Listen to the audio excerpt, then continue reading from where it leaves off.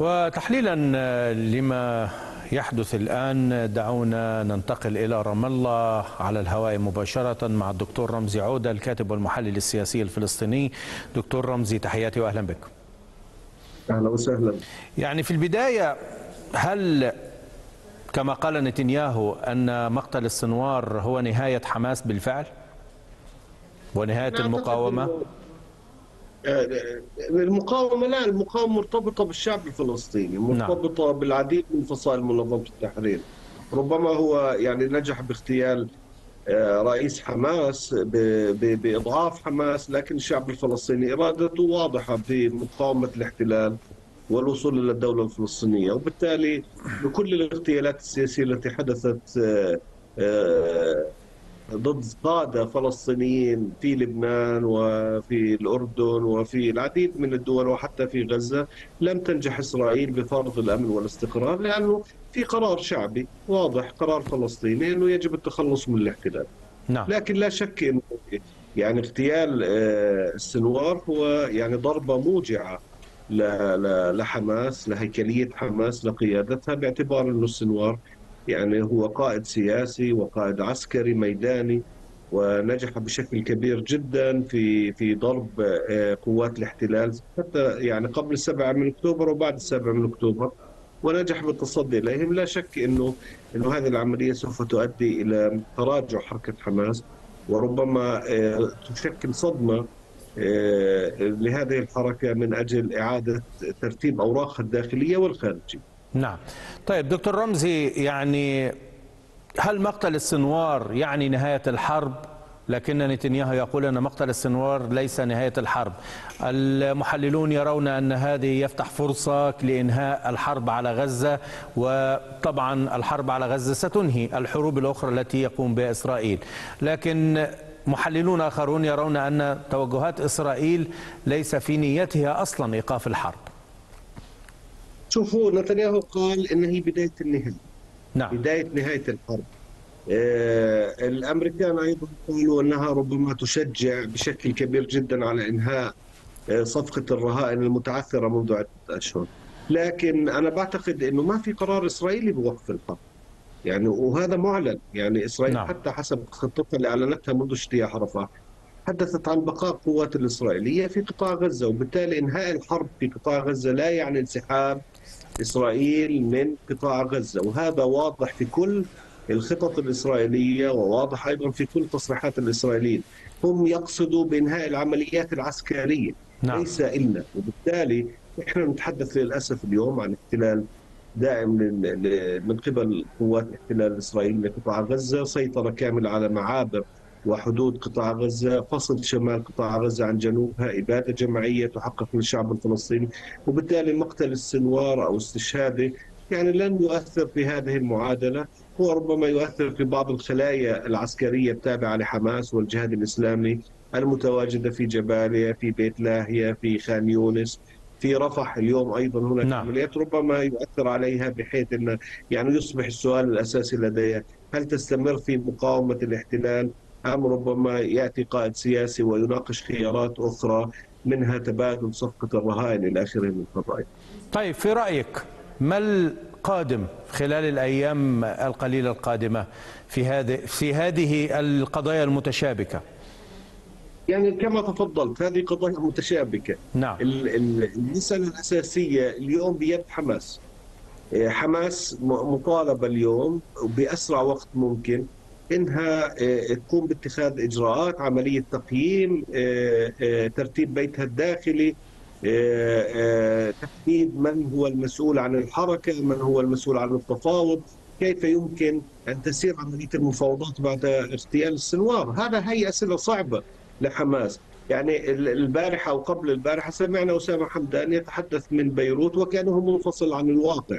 يتحدث بقضايا بعيدة جدا بدرجة نعم. إنه يعني الشعب الفلسطيني في غزة والضفة يعني أثار علامات ساخره على خطابه لأنه يتحدث بعيدا عن الواقع، أيضا تحدث خالد مشعل في مؤتمر الأخير وأيضا كان حديثه بعيد عن الواقع السياسي، اليوم يجب أن تكون حماس قادرة على اتباع خطوات عقلانية للوصول لتقليل الخسائر قدر الإمكان والوصول إلى يعني على الأقل إنقاذ ما يمكن إنقاذه. هذا نعم. مهم جدا اليوم بالنسبة لحركة حماس. يعني هناك اسرى في السجون الإسرائيلية ينتظرون إنه إجراء هذه الصفقة بأسرع وقت ممكن منذ السابع من أكتوبر العام الماضي وحتى الآن ينتظرون قرارا بالإفراج عنهم خاصة اسرى المؤبدات. وهل تصدق أن هذه الصفقة ستمر بعدم وجود السنوار أو بوجوده؟ هل يعني كان العطل الأساسي كان من عند نتنياهو وليس من من السنوار. فهل ستمر الصفقة الآن بوجود أي قيادة جديدة لحماس؟ والسؤال الأهم هل يهتم أصلا نتنياهو بالأسرى؟ المظاهرات في إسرائيل تقول أنه لا يهتم. صحيح كلامك صحيح. نتنياهو بالبداية منذ العدوان لم يهتم بالأسرى. دليل ذلك إنه قصفه الشامل. نعم. لا لا لا لمواقع آه، فلسطينية في غزة. وبالتالي هو نفسه بالاداء العسكرية الإسرائيلية قتل عشرات الأسرى. هذه نقطة.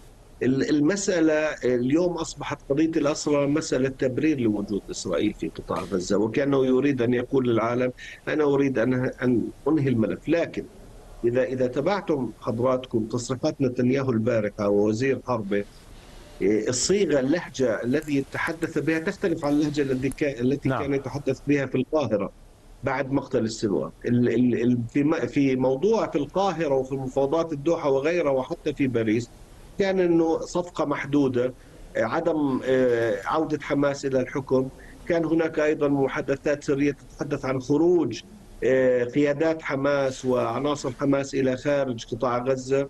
لكن اليوم عندما آه، آه، البارحه عندما أعلن نتنياهو اغتيال هنية واضح إن اللهجة اختلفت، هناك نشوه في النصر. فبدأ يتحدث قال إنه يريد الإفراج عن الأسرى المح... ال... ال... وطالب المحتجزين المحتجزين الاسرى بتسليم سلاحهم مقابل العيش.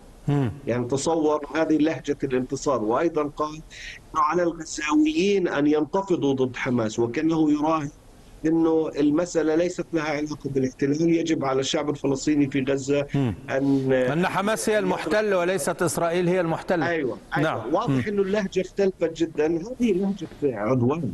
نعم. يعني هذه لهجة محتل لهجة شخص يريد أن يستمر احتلاله في قطاع غزة والمسألة لم تكن لها علاقة لا بالسنوار ولا هنية. هنية كان معتدل وأنتم في القاهرة تعرفون كيف كان هنية يريد أن ينجز الصفقة بقدر الإمكان. ولكن نعم. كان دائما الإسرائيليين يضعون شروط إضافية هدفها الأساس استمرار الاحتلال الإسرائيلي لقطاع غزة. وإذا إذا توق يعني توقف العدوان على غزة نقول إذا. هل ستوقف العدوان على جنوب لبنان والاثنين المفروض ان هم مرتبطين ببعضهم ولكن جنون نتنياهو وإحساسه بأنه هو المخلص الآن للشعب اليهودي وأنه آه، يريد الوصول كما أعلن في الأمم المتحدة بكل عجرفة إلى إسرائيل الكبرى. سيستمر في هذا آه، آه، الشكل أم ربما يكون الحل أيضا دائما ما ننتظر الحل من داخل إسرائيل سواء من جيش الدفاع أو من الإسرائيلي. طبعا كما يقولون عنه أو من الانتخابات أو من المعتدلين أو من أهالي الاسرى أو من الشارع الإسرائيلي كما يعني نقول. okay okay هذه الحرب حرب إسرائيلية بالأساس.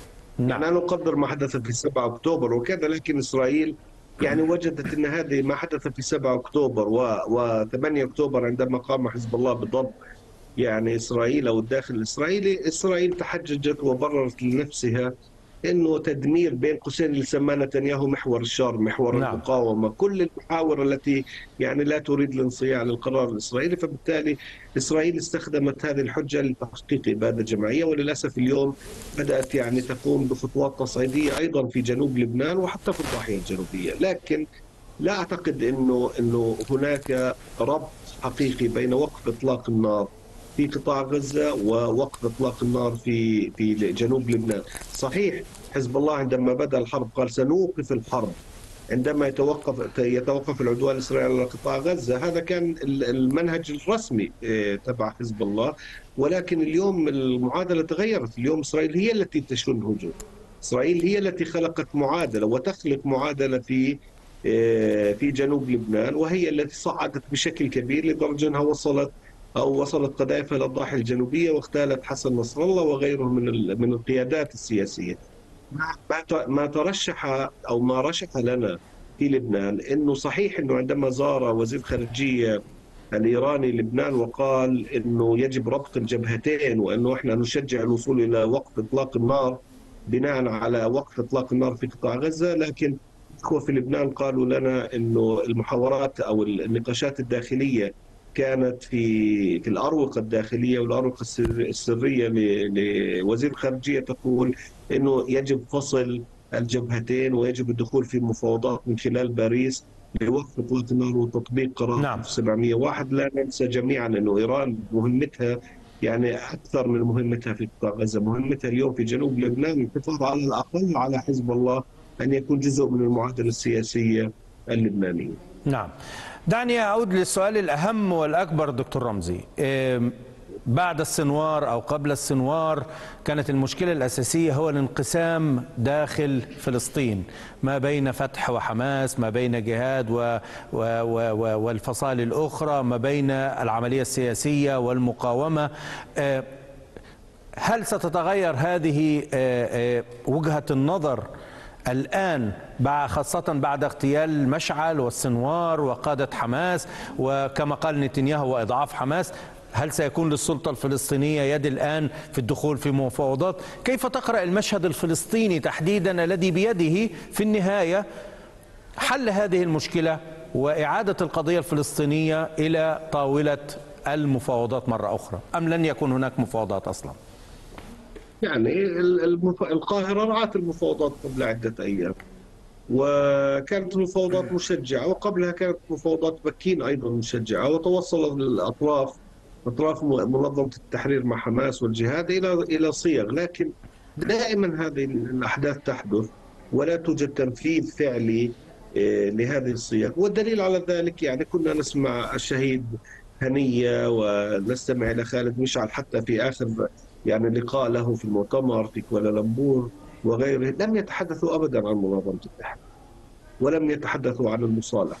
يعني هذا كان علامة فارقة يعني كانت لدينا دائما علامة فارقة إنه الذي يدخل خطوات جدية للمصالحة قبل عدة أشهر كانت الخطوات يعني أنا نعم. أتحدث ليس فقط قبل 7 أكتوبر يعني أنا أتحدث قبل عدة أشهر.